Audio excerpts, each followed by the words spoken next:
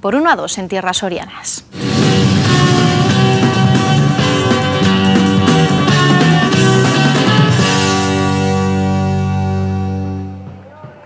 Necesitaba la victoria el Real Ávila si quería seguir en la zona alta de la tabla y lo consiguió. El conjunto encarnado venció por un gol a dos ante el Almazán, lo que le ha valido para situarse de nuevo en zona de playoff con permiso del Villaralbo, que de momento es quinto con un partido menos. Un encuentro que de nuevo se ponía cuesta arriba a los hombres de José Manuel Manzano. La historia de Iscar se repetía y en el minuto 3 de nuevo ya encajaban un tanto tuvo que ponerse el mono de faena el Real Ávila para dar la vuelta al marcador. Corría el minuto 37 cuando Javi Rodríguez marcaba el gol del empate y en el 43 Piru, el segundo y definitivo.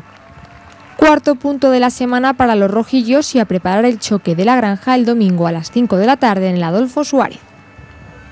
Y hablamos ahora de tenis con buenas noticias para dos de nuestros deportistas abulenses en el territorial de invierno que tenía lugar el pasado fin de semana. Se trata de Pablo Muñoz